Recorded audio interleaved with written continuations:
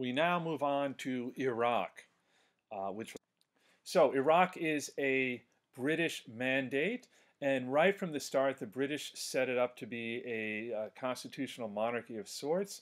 And you know, perhaps feeling a little bit bad that they hadn't supported Faisal Hussein uh, in uh, in Syria, they offer him the position of monarch. They put it to a referendum or plebiscite where you know all the uh, indigenous inhabitants were able to kind of vote on it, uh, and they voted in favor of Faisal as the uh, monarch uh, in the plebiscite that was held in 1921.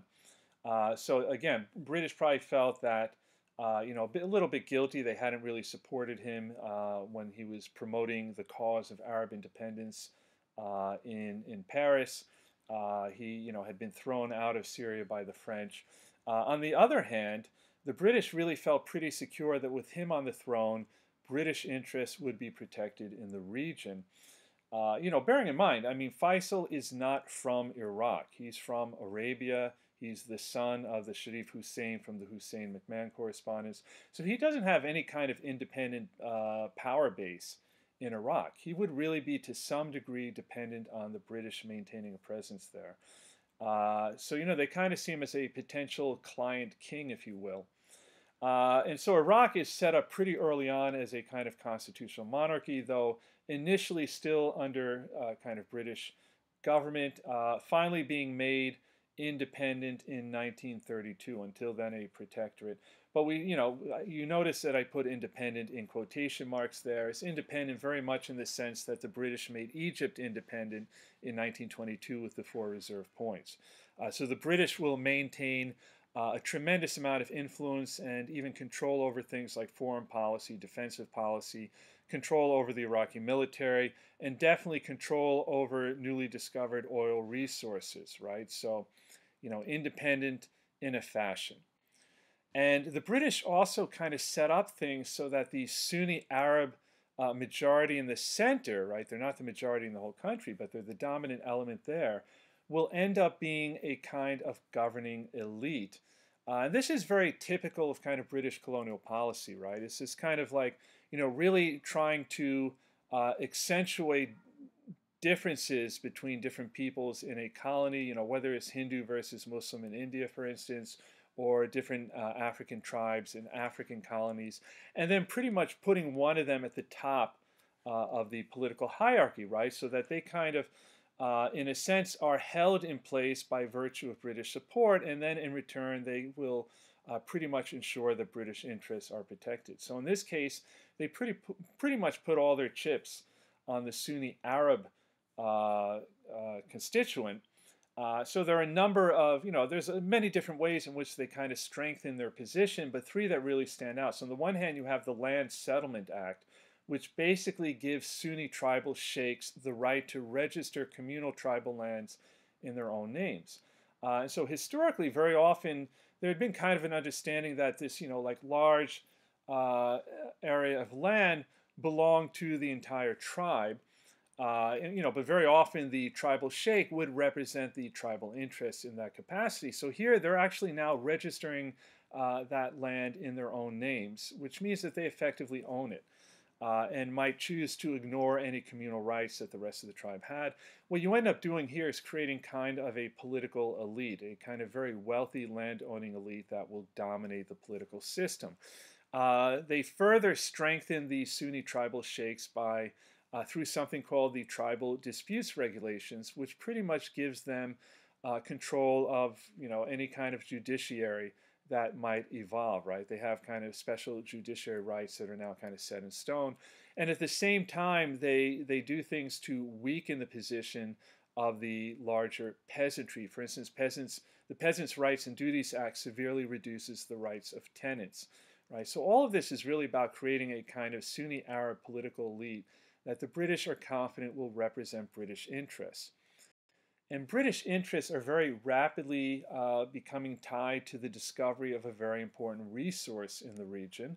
Uh, so you know, they discover oil in 1927 in the north, in the area around Kirkuk, uh, and almost immediately exploration rights are granted to the Iraqi Petroleum Company.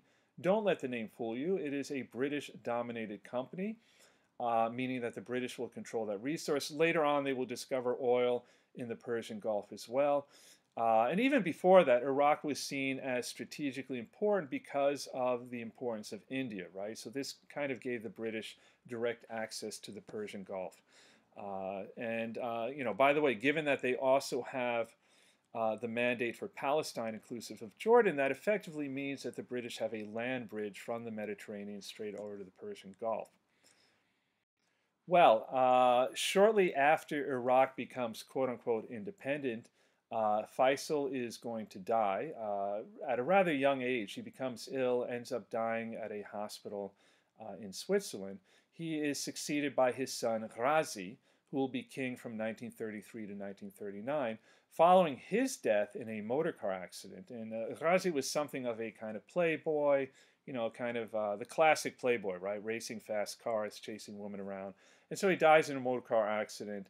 Uh, unfortunately, uh, his son at that point uh, was much too young to take the throne, so acting as regent will be his cousin and brother-in-law Abd al-Ilah, uh, who will govern until Ghazi's son comes of age in 1953. So, you know, so for a while, this new dynasty, Husseini dynasty, beginning with Faisal, is kind of working out, uh, at least superficially, right? From the British point of view, everything seems fine, but in actual fact, uh, you're, you're really seeing uh, the development of a lot of problems that are going to greatly undermine support for this monarchy, kind of growing corruption. Uh, you have a number of very powerful families that emerge on top, and so political positions just kind of rotate back and forth between them. Uh, none of them represent any kind of ideological political party or, you know, or some way are trying to promote the welfare of the Iraqi people or even promote the idea of an Iraqi national identity mostly looking out for their own individual interest. Right, so this is really kind of you know laying the foundations for uh, down the road you know some kind of uprising. We'll come to that in a bit, but let us look at what might be the most interesting uh, mandate during this period, and that would be Palestine, which again initially includes uh, what today constitutes the nation of Jordan. Excuse me. So first of all, as with the other mandates, the British are obligated to prepare the indigenous inhabitants for eventual self-government and independence. But, and this is unique to the mandate for Palestine, the terms of the Balfour Declaration are actually incorporated into the mandate. This is legitimized internationally via the League of Nations. So in addition to preparing the local population for independence, the British also are obligated to uh, lay the groundwork for a Jewish national home, right? And that was at the heart of the Balfour Declaration. Uh, and so we have the, the actual declaration here that you might review. And reminding you that the Balfour Declaration really didn't uh, say anything about uh, protecting or certainly not promoting the political rights of the non-Jewish, quote-unquote, non-Jewish communities in Palestine, right? So they're not even recognized as a distinct people, Palestinian Arabs.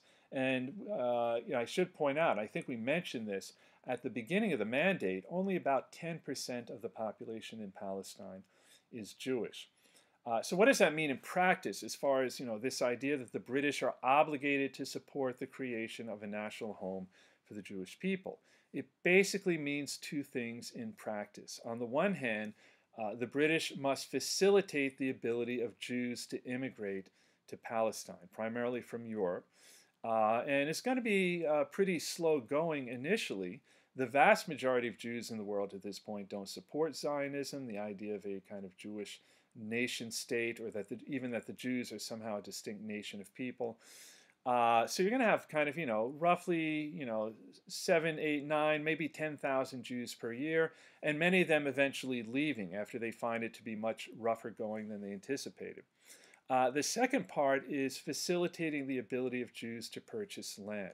There's kind of this idea that, you know, over an extended period of time, uh, wealthy Jews, uh, very often it might be institutions created for that purpose, uh, you know, various kinds of foundations and so forth, to, you know, incrementally purchase as much land as they can throughout Palestine and then to establish settlements there.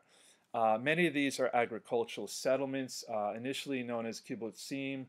Uh, later you have moshavim. Kibbutzim is kind of operating on communist principles where everything is kind of jointly owned by the settlers. Moshavim's kind of allowing for a greater degree of private property. Uh, and there's kind of this idea that, you know, if Jews are going to be, you know, like truly a nation and somehow, you know, have some kind of right to Palestine, they kind of need to get their hands into the soil and learn to become farmers. Uh, and until that point, actually, most Jews, particularly coming from Europe, had very little agricultural experience. And the majority of them are actually going to go to cities like Jerusalem, Haifa, uh, and a newly created city called Tel Aviv, just to the north of Jaffa. Right? And that actually only began at the very end of the 19th century, literally built on the sand. So the first High Commissioner of Palestine, representing British authority, is going to be a fellow named Sir Herbert Samuel, who governs between 1920 and 1925. And uh, right from the get-go, this really sends out a powerful signal to Palestine's Arabs, right? So Sir Herbert Samuel is both Jewish and a known supporter of Zionism, right? So, uh, you know, granted, he takes great pains to demonstrate his neutrality, uh, you know, really trying to show that he is cognizant of Arab interests, that he's trying to find some kind of balance between the two. Uh, but obviously, if you're a Palestinian Arab, uh, the fact that he's Jewish and Zionist just doesn't bode well for the future. Nonetheless, if the you know the first uh, five years of the mandate under his commissionership are relatively peaceful. Uh, some credit him uh, and you know the fact that he he's perceived as being fair as a factor uh, behind that. I would argue it really has more to do with that. At least initially, Palestine's Arabs feel that the best course of action is to peacefully protest. You know, either through peaceful demonstrations uh, or petitions or sending delegations to London to try and convince the British uh, that their policy is misguided. And there's this kind of idea that the British are ultimately fair. Uh, the problem is they just don't really understand what they're doing. If you can help them to understand how unfair, uh, you know, supporting the Balfour Declaration is, and they'll eventually change their position. Uh, so, for instance, at some point, an Arab delegation will uh, be presented before the Minister of Colonial Affairs, the Colonial Secretary as it was, a fellow named Winston Churchill at the time. You may have heard of him. Uh, and you know, they, they before they can even speak, he basically uh, Churchill indicates, listen, I, we know exactly what the policy is, we know exactly your position, and there's no point even speaking because nothing is going to change in that regard. Uh, and as you might imagine, that came as a bit of a shock. It, it, was no small thing for a delegation of Arabs from Palestine to make their way to London at that point. Winston Churchill actually showed up in Palestine shortly thereafter in 1922. Uh, I might note alongside T. Lawrence. Uh, in theory, to kind of clarify what a Jewish national home was. There was a great deal of confusion about that, like whether it was supposed to be uh, just designating that Jews would have some kind of political status in, in Palestine, or part of Palestine would be a Jewish state, all of Palestine, and so forth. Uh, suffice it to say, so I mean, whatever what, what Winston Churchill said actually was effectively a statement of British policy. Uh, and it actually left people more confused about what a Jewish national home was than before uh, he actually said anything. And that probably was the intention. Winston Churchill uh, certainly was a brilliant speaker, and if he wanted to clarify uh, what British policy was in that respect, uh, he certainly could have done so. Uh, one aspect, however, of this new policy was that all territory in Palestine uh, east of the Jordan River would be off limits to Zionism. So, effectively severing off what became Transjordan, today what we call the Kingdom of Jordan. Um, and it would come under a different kind of administration. Uh, the British put uh, Abdullah bin al Hussein, the brother of Faisal, in charge of its administration, uh, partly to uh, dissuade him from attacking the French in Syria, which he was about to do. He had kind of uh, set up base in uh, the village of Amman, in what today is Jordan, what today is in fact the capital. And they basically are like, you know, just kind of leave the French alone. We'll put you in charge of uh, Transjordan. And so he held the rank of emir or prince, uh, but it was still under ultimate British authority. Uh, Jordan would finally become independent under his rule uh, in 1946, at which point he became the king of the Hashemite kingdom of Jordan. Uh, the Hussein family claiming to be descended from the same clan as Muhammad, the Hashemite clan. Uh, and by the way, I mean, that is still the ruling dynasty in Jordan today. As for the rest of Palestine, tensions were beginning to grow uh, between the uh, Jewish population and the Arab population. Uh, in fact, you know, really at this point, uh, you're coming into the late 1920s, it wasn't really clear that Zionism was going to succeed. Uh, there, there, really weren't a tremendous number of Jews coming to Palestine. In fact, in 1928, more left than actually came in. Uh, that did kind of hold out the promise of arriving at a compromise. On the other hand, many many of the Zionists who were, were setting up in Palestine were extremely uh, radical, not open to compromise. Uh, many of them were quite upset about the fact that Jordan had been uh, kind of severed off from uh, Palestine, what would become the state of Jordan.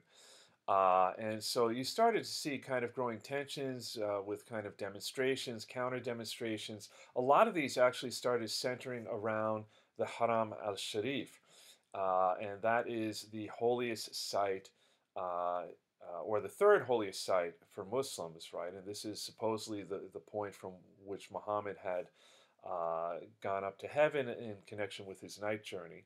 And that's where the Dome of the Rock is located. But that also was the original site of the ancient Jewish temple. Uh, and so, you know, that had been destroyed by the Romans in 70 AD. Uh, but the containment wall uh, that had kind of surrounded the platform upon which the temple had been built and upon which now is located the Al Aqsa Mosque and the, uh, the Dome on the Rock. Uh, part of that wall had, you know, had survived uh, the destruction of the temple and had become very sacred to the Jews, the Western Wall, where many Jews would go to pray and where it was considered that the presence of God could still be found. Uh, so, you know, having demonstrations around this kind of contested holy site, even if it was to some degree on more nationalistic grounds, uh, definitely did a lot to heighten tensions. And eventually it led to uh, what are known as the Wailing Wall riots or disturbances in August of 1929. Uh, so a rumor had started to spread that the Jews had designs on the Haram al-Sharif, that they, they, were on the verge of convincing the British to give it all to them. Uh, and so, you know, passions were uh, highly incensed. And then uh, many Muslims, when coming out of the Friday noon prayer uh, at the Al Aqsa Mosque in the Haram al Sharif, uh, basically went on a rampage, massacring large numbers of Jews. Uh, things got really especially bad in Jerusalem and the not so far away town of Hebron. And in the end, about 133 Jews were killed, 339 others injured. Uh, and large numbers of Arabs were killed as well, though mostly by British police who were trying to kind of quell the disturbances. You, you, you saw 110 Arabs killed and 232 injured. Uh, and the British responded basically by sending a commission to try and figure out what the causes of the riots were. What they determined was that ultimately it was not really about religion, it was not premeditated, it was largely nationalistic in origin. So here you can see, uh, just so we know what we're talking about, uh, the Dome of the Rock, which is kind of the, the main edifice uh, on top of what had formerly been the Temple Mount, and is part of a complex known as Haram al-Sharif, or Noble Sanctuary. Uh, so pretty much encompasses the entire surface of what had been the Temple Mount. Uh, the other main structure is the Al-Aqsa Mosque. The Dome of the Rock, in fact, is not a mosque. It marks the point from, from which Muhammad alighted to heaven uh, according to the uh, account of his night journey. Uh, the actual mosque is at one end uh, of that complex. And you can see what had been the containment wall of the Temple Mount, all that remained from the original structure from when the Romans had destroyed the temple. Uh, and the Western Wall, in particular, beginning somewhere around the 13th century, has started to become a kind of holy spot for Jews. You could argue today is probably the holiest holiest place for Jews in the world. Uh, this kind of idea developed that the presence of God uh, was somehow still there. Uh, so a very uh, common image, you'll see Jews praying there, writing uh, prayers on little pieces of paper, putting them between the stones. I've had the pleasure of, of visiting uh, both of these sites numerous times, and if you know we were having class in person, I could tell you some pretty good stories about my encounter with Michael Jackson there uh, later on La Toya Jackson a few weeks later. Uh, so I have this kind of special Jackson Western Wall connection. I'm not sure how that came about. Uh, but in any event, uh, I, I don't think we can really get into that here. But Palestine's Arabs at some point decided the problem wasn't really the Jews, the problem was more the British and British policy. And they certainly, you know, had become completely disillusioned that they were going to persuade the British to re reverse their policy through peaceful means. Uh, and so this uh, eventually led to what's known as the Great Revolt uh, of 1936 1939. It started with a general strike, uh, which was deemed illegal by the British, so they, they basically tried to break it down. Uh, and then it very quickly escalated into a nationwide revolt. And again, it was primarily directed against the British, though certainly many Jews ended up being targeted as well. Uh, eventually, the British were able to militarily suppress it, uh, and they really engaged in some pretty harsh tactics, including uh, the collective punishment of villagers. Uh, you know, villages, any village that you know uh, was deemed to be harboring uh, from the British point of view, terrorists, from the Palestinian point of view, freedom fighters. Uh, they would target the whole village. Uh, and certainly there were, were, many episodes of you know the British using torture, uh, execution, so forth. Uh, and eventually they were able to suppress the revolt. They had many of the leaders of the of the revolt were sent into exile. and then came the Second World War. Uh, and in some ways, the British were quite lucky. I mean, things really did settle down, so they didn't really have to deal with, uh, you know, trying to maintain control and using up military resources in Palestine. After the war, uh, things would escalate again, though this time coming from the Jewish side. And in fact, many Jews in Palestine had actually fought alongside the British during the Second World War, kind of hoping that the British would view their cause more favorably. In fact, the British had actually started to curtail uh, the number of Jew Jews that would be allowed to immigrate to Palestine. Uh, and, and they, they were beginning to recognize that they were going to have to somehow take into account Palestinian Arab nationalist aspirations. Uh, so after the war, uh, particularly uh, those Zionists far to the right politically, uh, basically felt that, you know, I mean, by this point, the Jewish population was much larger. Uh, the, the, the, Jews in Palestine had actually started developing the institutions of government uh, so that if they were to become independent, they could pretty much hit the ground running. They'd even developed what effectively was an army. So was kind of a feeling like, you know, we're ready to, you know, kind of you know, just deal with this on our own. We just need the British to get out of the way. Uh, and so, among other things, you had some very militant right wing Zionist groups that engaged in, and there's really no other name for it, terrorist actions against the British. Uh, like, for instance, they might kidnap British soldiers, uh, basically uh, torture and kill them and leave their bodies hanging from trees and things of that nature. Probably the most famous uh, terrorist incident visited upon the British was the bombing of the King David Hotel. Uh, on July 22, 1946. This was carried out by members of a militant organization known as the Irgun, uh, the head of which, Menachem Begin, would one day become Prime Minister of Israel. In any event, they set off a bomb. Uh, why the King David Hotel? Because a big part of it housed the offices uh, of the British Palestine government. Uh, more specifically, the British Secretariat, uh, Secretariat, the Military Command, and a branch of the Criminal Investigation Division. Uh, you know, basically the police. Uh, so they set off a bomb, exploding those offices, killing 91 people. Uh, most of them staff of the Secretariat, but also of the hotel. among these, 28 were British, 41 Arab, 17 Jewish, and five others uh, around 45 people were injured. Uh, and certainly after the Second World War, uh, the British were becoming really frustrated about what to do with the situation in Palestine. Uh, you know, for the longest time, they really imagined that it would be possible to reconcile uh, uh, Zionist and Palestinian Arab nationalist claims, and I think they finally began to realize that there was just no way you could somehow satisfy both parties. And eventually they decided just to turn the problem over to a newly created international organization, the United Nations. Uh, so the UN appointed a committee uh, known as UNSCOP. Uh, it was composed of representatives from 11 states, none of which were great powers, right? There was kind of a feeling that uh, the great powers all had too much of a vested interest in the Middle East and could not be impartial. Uh, and so, you know, their job was to come up with a solution to resolve the this kind of evolving conflict between the Jews and Arabs in Palestine. What they came up with was a partition plan in 1947.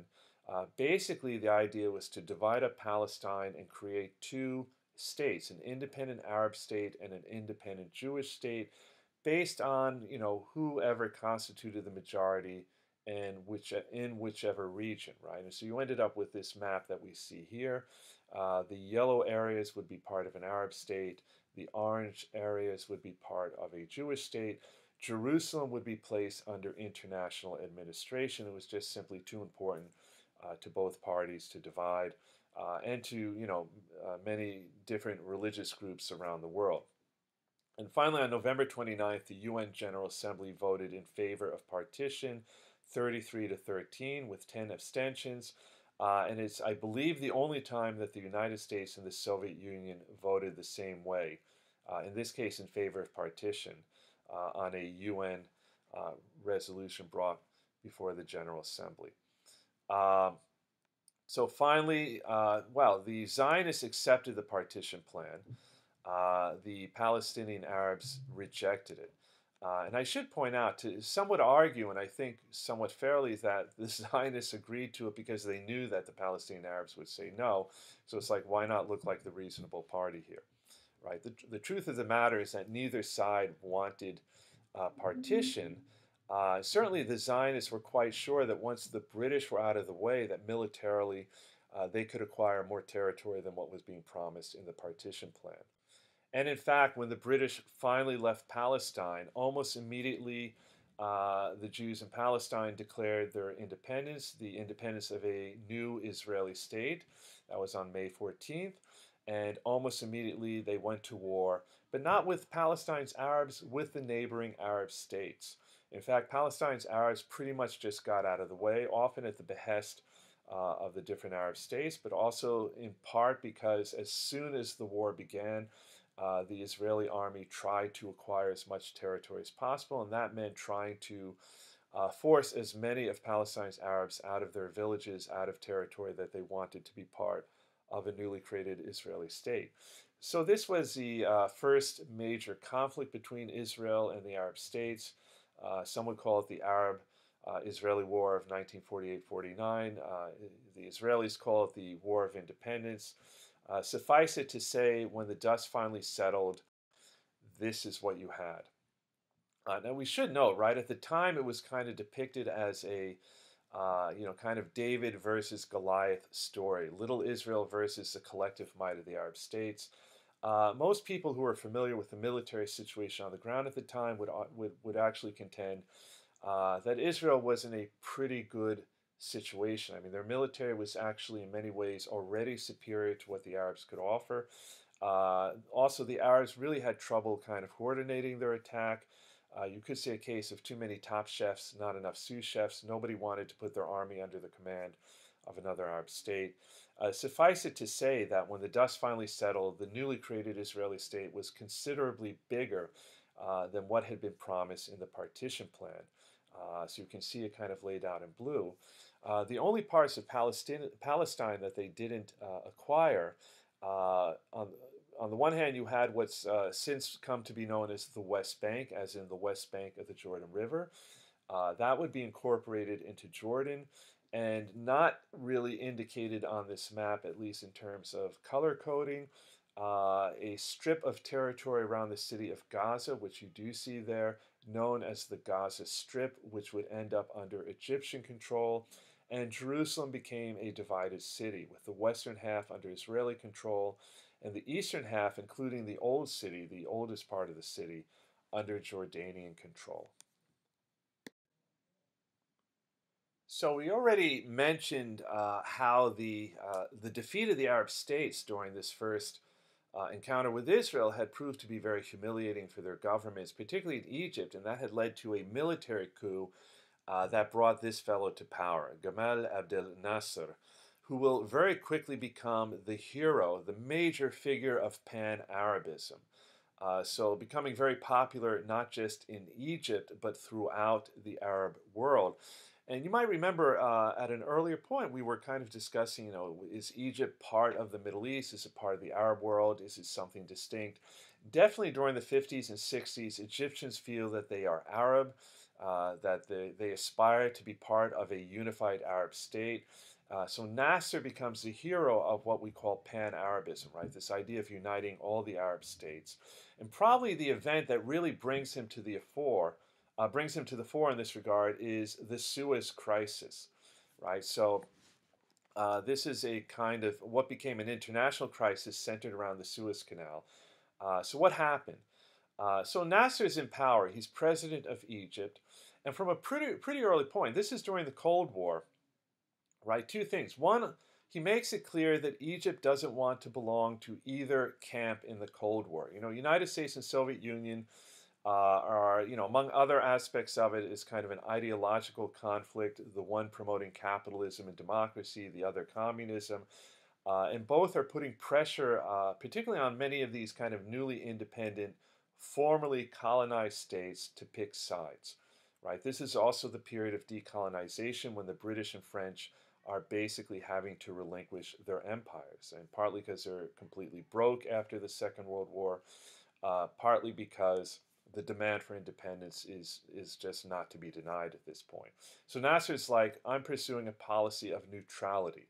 I'm happy to deal with either the United States or the Soviet Union, uh, but we will not be beholden to either. And at the same time, he wants to rapidly modernize Egypt. Oh, that sounds like a familiar theme. Uh, and the problem is really the only source of revenue for this is either the Egyptian government. I mean, you simply don't have a big enough private sector, large enough middle class that they could actually fund uh, kind of rapid modernization. Uh, you know, in terms of industrialization, building factories and building up the economy, uh, or you'd have to borrow money from abroad. And uh, considering what had happened with Ismail and the dual financial control, uh, I think it's easy to understand why Egyptians might not want to go down that route. So Nasser is basically going to adopt a policy of socialism at home. Um, again, not because they're sympathetic to communism, but really the government is is the only place where you're going to get revenue in order to rapidly modernize the state. Now, from the point of view of the United States, uh, they're not happy about either of these developments, right? I mean, socialism at home sounds too much like communism. Uh, neutrality abroad, well, the head uh, of the Department of State, a fellow named Dulles at this point, he's what we call a cold warrior hawk. Uh, from his point of view, either you're with us or you're against us, right? So, you know, neutrality, we're not buying it. From our point of view, it's as good as if you're, uh, you know, in the Soviet camp. Uh, and so the United States had actually uh, been working on a, a deal to sell military equipment to Egypt. Uh, and in response to these developments, they decide to hold it up, right? Even though they had already been agreed, uh, these military sales, kind of as a punishment or, you know, pressure to kind of force Nasser into the American camp. Nasser is having none of it. In September 1955, uh, he's like, you don't want to sell me arms, I'll go to Czechoslovakia. Well, from the point of view of people like Dulles, uh, to some degree the American president at the time, Eisenhower, that just confirms their worst fears. Czechoslovakia is part of the Soviet camp, is behind the Iron Curtain, is a, basically a Soviet satellite state. From their point of view, that's as good as if you're buying arms from the Soviet Union. Well, the United States responds now by putting pressure on the World Bank to withdraw its offer to help finance the construction of the Aswan High Dam. This dam was going to be the centerpiece of Egypt's modernization program. It would uh, you know, utilize uh, the Nile River in order to produce a large amount of electricity. And Nasser is obviously pretty upset by this. Uh, and he responds by nationalizing the privately owned Suez Canal Company. A perfectly legal move, right? It's now going to use the, the revenue generated by the canal to fund the construction of the dam. But this is really going to tick off the British in particular, uh, who, even though they're kind of losing their empire and they've already lost India, you know, old habits die hard. The Suez Canal had been seen as the lifeline of the British Empire. Uh, the British are still coming to terms with the fact that they are no longer a great imperial power. Uh, and they see this as a kind of slap in the face. And so they're going to basically collude with two other powers, or one newly arrived state, uh, in order to attack Egypt. Uh, these two other countries are going to be, on the one hand, France, uh, which right now, at this point, is also upset with Egypt because Egypt is supporting uh, Algerian nationalists against them, Algeria, a colony of the French. Uh, and so the Egyptians are providing uh, military assistance uh, to the Algerians. Uh, and the other country is Israel. Israel is kind of upset because, on the one hand, Egypt is threatening not to let Israel use the Suez Canal. Uh, they're also blocking Israel's access to, uh, at this point, its only major port in the very south of the country uh, that would have to go through the Red Sea. Uh, in order to access it, and also they are sponsoring militant raids uh, from Gaza uh, by Palestinian Arabs that like go into Israel, conduct militant attacks from Israel's point of view, terrorist attacks, uh, and then escape back across the border. Uh, so the three of them come together uh, in a kind of collusion and come up with a plan in order to attack Egypt. And this will be the campaign in Sinai of 1956. So it's a collusion. What, what we mean by that is that they are kind of secretly mapping it out, uh, kind of a plan that will allow the British and French to take control of the Suez Canal. And uh, from the British point of view, they're hoping it might even incite a kind of military overthrowing of Nasser. Right? So the basic plan is this.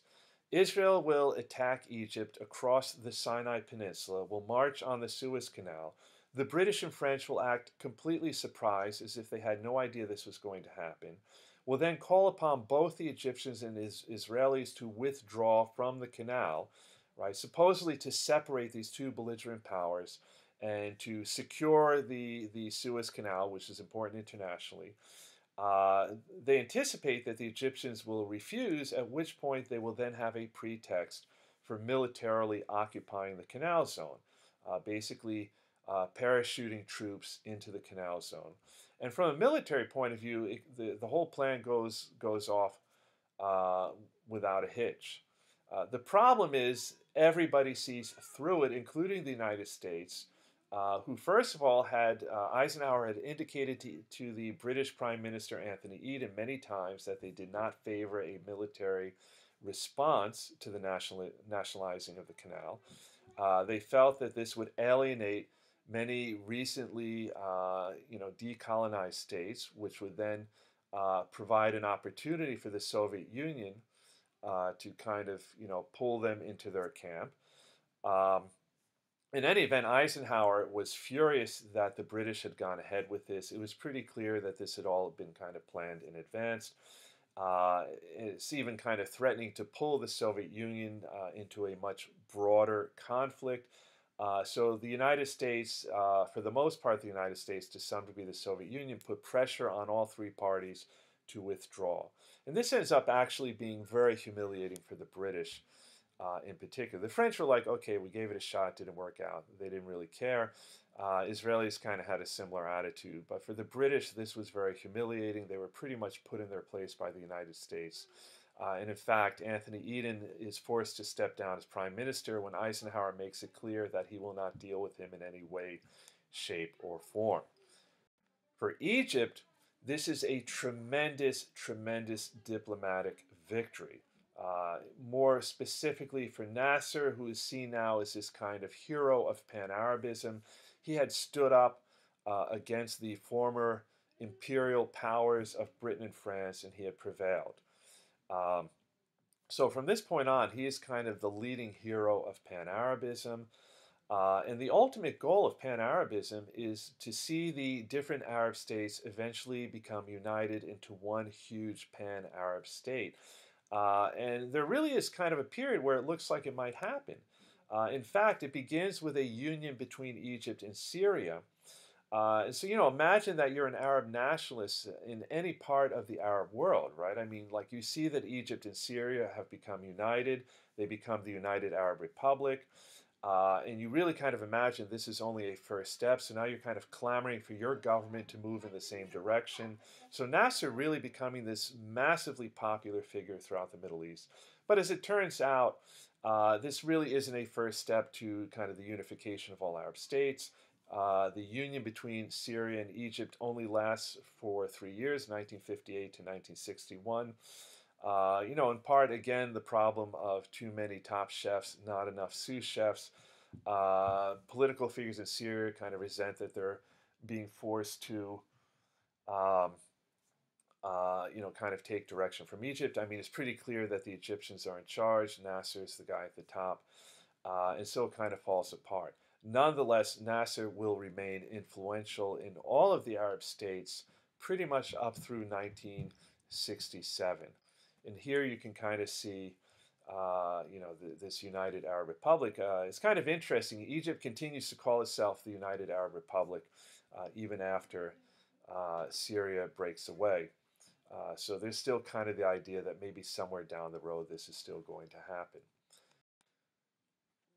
We should note as well that Nasser is not just a hero of the Arab world, he is a hero of, of Asia and Africa, of all the non great power states. Um, you know, many of them only newly independent with the collapse of the British and French empires.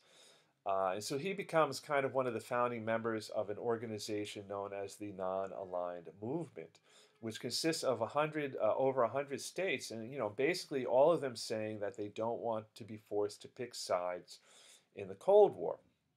Uh, and this uh, non-aligned movement originates at a conference in bandung indonesia in 1955 uh, and again declaring their desire not to become involved in the cold war. We're happy to deal with you know the united states the soviet union with whoever but please do not dictate to us uh, you know, who our friends are, who we can trade with, and so forth.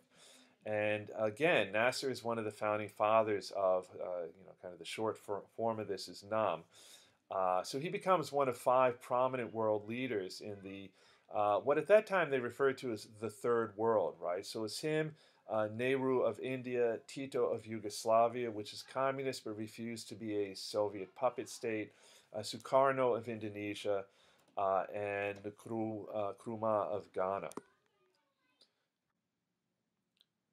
So the next major conflict between uh, Israel and the neighboring Arab states would be the Six Day War of 1967. As the name implies, it was a rather uh, short war, limited duration. And this is a conflict that really nobody wanted uh, as a consequence of kind of a tit for tat escalation of tensions. Uh, and, you know, while I, am certainly never reluctant to take a critical view of Israel and its interaction uh, interactions with its neighbors, certainly with Palestinians. Uh, th- this is one case where I, I think you could uh, you could argue that Israel was justified, uh, noting that Israel actually is the one that initiates the conflict. Uh, but what I mean is, in a sense, that from, from their perspective, it seemed that war was imminent and they had no choice. And the simple fact is that Israel, for a number of reasons, can't afford to fight a war of long duration or war of attrition. Um, so there are two specific factors I would highlight in that regard. First of all, Israel geographically a very narrow country. Uh, and particularly when the West Bank was under Jordanian control. And if you look at the map in the center there, I'm not sure it's very clear. Uh, but there is, you know, at some point where the West Bank actually comes within 10 miles of the Mediterranean. Uh, so if the if the collective Arab states are fighting against Israel, probably their their immediate objective would be to literally sever Israel in half. Uh, and given that you have this kind of uh, area uh, where the West Bank kind of juts uh, out towards the Mediterranean, where Israel was very narrow, uh, this is a real possibility. Uh, so for you know for Israel to kind of sit around and wait for the other side to attack first could be fatal. Added to which, Israel's population, you know, particularly if it's fighting all of the Arab states, is relatively small. Uh, some of you might know that even until today, all Israelis, including women, have to do military service, right? So they, they have a draft. It's not a volunteer army. Uh, and uh, the men are in the reserve for a very extended period of time after their military service. The idea being that, you know, if a war is, uh, were to commence, then you call up the reserve. So pretty much all the men end up fighting, meaning also that the economy ends up pretty much coming to a standstill. And the longer the war goes on, uh, the more of a problem, the more of a drain this becomes uh, on Israel. So for them, if they're going to fight a war, they really need and and if they're going to be victorious, they really kind of need to make sure the war doesn't carry on too long. Uh, so why did Israel feel that war was imminent? Some of this had to do with the fact uh, you could say Nasser was a victim of his own success. You know, as he became a much more prominent voice, uh, speaking on behalf of all the Arabs, uh, on behalf of Pan-Arabism. Um, you know, there's kind of increasing pressure on him to put his money where his mouth is particularly in terms of his pronouncements about Israel uh, and you know his claim to support the Palestinian cause, which would have been kind of the preeminent Arab cause at the time. Uh, so what happens? A number of moves that he make are actually going to convince Israel that war is imminent.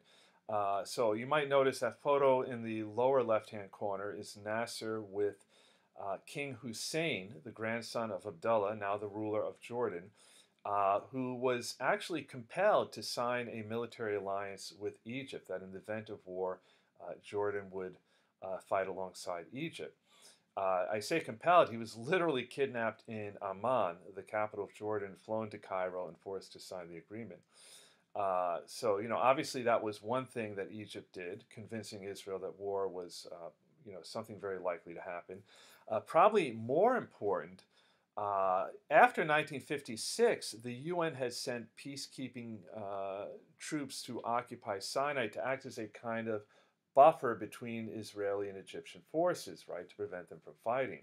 It's actually the first time the UN ever did this, uh, the so-called Blue Helmets. Uh, so Egypt, uh, at, at some point shortly before the war, uh, tells the UN that he wants those troops taken out. And so they're removed I mean, Sinai, after all, being Egyptian territory.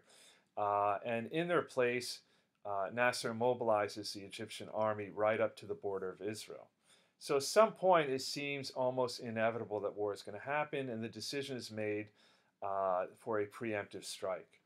Uh, and in, in large measure, because of how successful this was, uh, Israel is going to be victorious within six days. The first thing they do is they basically completely annihilate the Egyptian Air Force while it's still on the ground. Uh, after that, it's almost a foregone conclusion.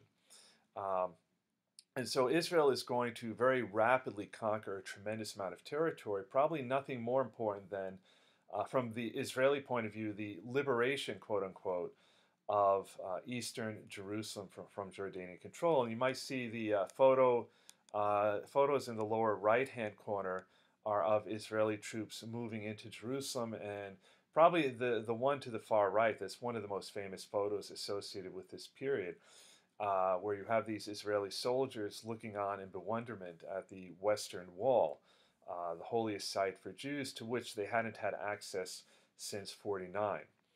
Um, but it's going to be a good deal more than that by the time the dust has settled, uh, Israel has conquered all of the Sinai, the West Bank, the Gaza Strip, and from Syria, territory known as the Golan Heights, uh, and of course Jerusalem. Uh, so, you know, I mean, this is just by any measure a, a, an utter uh, humiliating military defeat for the Arab states. Uh, in particular for Nasser, he actually uh, is so uh, despondent after this that he offers to resign from the office of president. Uh, the only thing that keeps him in office, the Egyptian people take to the streets and demand that he doesn't resign. Uh, but it's pretty much the end of his career. Three years later, he's going to die from a stroke. Uh, and in many ways, it kind of marks the beginning of the end for pan-Arabism, right? This kind of idea of a, you know, striving for a unified Arab state. Uh, many Palestinians from this point on are going to decide that they have to take matters into their own hands instead of waiting for you know, the kind of unified Arab forces to liberate them. Uh, but, but this is really going to change the dynamic in the Middle East in, in many profound ways. And we'll come back to this in a bit. Let us look at developments in Syria, right? So up until the union with Egypt, Uh, you m- might remember Syria became independent right after the Second World War, but they, they were never really politically stable. Uh, the president at the time of Syria's union with Egypt, Shukri uh, el Kuwatli, um, uh, that pretty much, he was probably the most prominent political figure up until then, but that union actually kind of marks the end of his political influence. He's forced into exile after he gets into a quarrel with Nasser. Uh, you know, and definitely in the in the 50s and 60s, you did not want to get on the wrong side of Nasser. I mean, that pretty much uh, would be the end of your career and perhaps the end of your life. Uh, but in any event, uh, as we pointed out, the Union doesn't last very long. It ends in 1961. Syria is still fairly unstable at that point. And then finally, against that back, background, uh, we have effectively a military coup on March 8, 1963. A group of leftist army officers create a new government called the National Council of the Revolutionary Command. Uh, and it's made up of military and civilian officials, and it assumes control over, uh, over the country, all executive and legislative authority. Uh, the takeover is engineered by a political party that we haven't talked about yet uh, called the Arab Socialist Resurrection Party, uh, more commonly known as the Ba'ath Party. Some of you might have heard of that in connection with a fellow named Saddam Hussein. We'll get to him later. Uh, but this party actually had branches in many Arab countries, had been very active in Syria as well as Iraq uh, since the late 1940s. Uh, and so now, in the case of Syria, they, they are going to become the dominant element in this new government, the new cabinet that's formed. So, who are the Ba'ath? Who are the Ba'ath Party? Uh, again, the full name, Arab Socialist Resurrection Party, had been founded in 1947 uh, as a radical secular Arab nationalist political party. So, uh, first of all, very much about pan Arabism, about Arab nationalism uh, in support of you know, the unity of the Arab people. Uh, the socialist part of it, in a sense, uh, they really represent an attempt to come up with a kind of more palatable or acceptable form of communism, if you will, or socialism. Uh, you know, one, for instance, that wouldn't uh, be atheistic in outlook, kind of recognizing that religion uh, still remains an important aspect of people's lives in the Middle East. Uh, two would really try to promote the idea that socialism right, in terms of looking out for the welfare of the community versus the individual, uh, was very compatible with Islamic values, right? So they kind of try to promote this way of thinking about it. Uh, but it is really ultimately very secular, and we might note that uh, one of the two most important intellectual figures behind it was actually Christian, Michel Aflaq, uh, the other one being Salah al-Din al-Bittar. Um, and so again, right, you had a had branches in pretty much all of the Arab countries, but probably they were strongest in Syria and Iraq. And in fact, they came to power in both countries in the same year, in 1963. Uh, though that did raise kind of uh, an interesting issue, right? Now that they actually held uh, power in two countries, and, and given that they supported the unity of the Arab people, you would expect that the first thing they would have done is try to create a kind of unified Syria and Iraq, to create one uh, single country out of those two components. Uh, but, you know, ambitious men don't like to share power. And in the end, uh, the Syrian and Iraqi parties split into two rival organizations, even if they both retained the same name, both known as the Ba'ath Party. Well, in the case of Syria, uh, so, you know, this new government was in charge at the time of the Six Day War. Uh, and again, it was a humiliating defeat, first and foremost for Nasser, but it didn't bode well for any Arab government. Uh, and in this case, it kind of exacerbated a division that had already existed between the military wing of the Ba'ath Party, uh, which was much more radical, and a civilian wing, wing, which was much more moderate and which was now blamed for the defeat. Uh, and so this, you know, kind of making a long story short, eventually led to another military coup, this one bloodless, that saw the Minister of Defense Hafiz al-Assad assume leadership of the country uh, and uh, in the role of president, though effectively with dictatorial powers. And he would actually govern until his death in, uh, I believe it was 2000, maybe 2001, I forget. Uh, but by the way, his son is currently the head of the Syrian government and right now embroiled in a civil war, uh, Bashar al Assad. So, what about in Iraq? Well, prior to 63, Iraq had been one of the most Western orientated uh, countries in the Middle East. Uh, so, you know, unlike Nasser, who kind of pursued this policy of non alignment, Iraq decided to pick sides and they went with quote unquote the West, with Britain uh, and the United States. This was probably most evident in their prominent role in something called the Baghdad Pact, which was actually a military alliance. It was kind of initiated by the United States, but they actually never became part of it. So it was dominated by Great Britain. In theory, an anti-communist alliance, you know, the idea that, you know, if the Soviet Union were to invade uh, any of the countries that were part of the Baghdad Pact, uh, they would support one another and they could count on the support of Great Britain and the United States. Uh, so it's called the Baghdad Pact uh, because the kind of the headquarters for this uh, alliance is in Iraq, in Baghdad. It includes also Turkey, Iran, and Pakistan. Uh, but you know, being pro Western in the age of pan Arabism, when Nasser is such a prominent voice, kind of the hero of the Arab world, uh, comes uh, with a cost, right? And so Nasser, for instance, was very active in spreading propaganda in Iraq. Uh, calling upon people to rise up against their government and overthrow it, right? For being too pro Western, uh, for aligning themselves with their former colonial master, Great Britain, and so forth. So this was, you know, being part of the Baghdad Pact, not a particularly popular thing. And sure enough, eventually you did have a military coup uh, initiated by the Free Officers, the same name used by Nasser and uh, his comrades when they had their military coup in Egypt. Uh, more specifically, it was the 19th Brigade. Uh, but, you know, they, they kind of named themselves after the original uh, coup that happened in Egypt. Uh, so this took place in 1958, right? So this is before the Ba'ath Party seizes power. The leaders of this coup were two fellows, Abdul Karim Qasim and Colonel Abdul Salam Arif. Uh, and, it, you know, it was pretty successful. Uh, the regime at that time uh, and the ruler at that time was, uh, well, really the regent, Abd al-Ilah, uh, technically acting on behalf of Faisal II, the grandson of the first Faisal. Uh, so a very unpopular regime. They're overthrown, and in fact, pretty much anyone associated with that regime is executed. One of the, the first acts of the new government is to withdraw from the Baghdad Pact, and eventually Qasim emerges as the true leader of the new regime.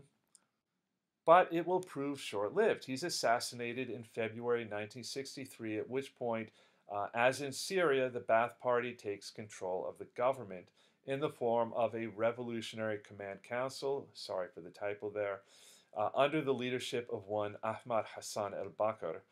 Uh, and so he will be the dominant figure, though from a pretty early point, you have kind of, of a, a rising star in the Ba'ath Party, the Secretary General Saddam Hussein, uh, who will eventually become the main power. Uh, initially, kind of from behind the scenes, uh, operating in theory on behalf of al Bakr, but then eventually pushing him aside and, and taking direct control. And we'll stop there and pick up uh, the thread in the next lecture.